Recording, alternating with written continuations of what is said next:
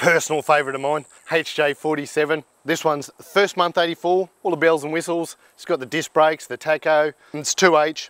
But since Max has owned it, he's put on a few little extras. I'm a big fan of the visor. He's got the Lightforce, driving lights, the XTM light bar, so no longer is he afraid of the dark.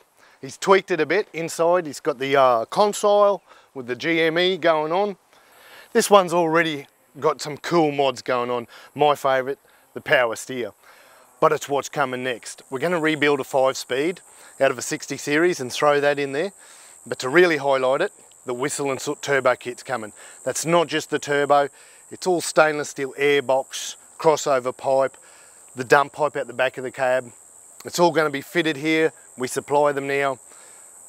So keep an eye out for this one. It's going to be a lot more coming.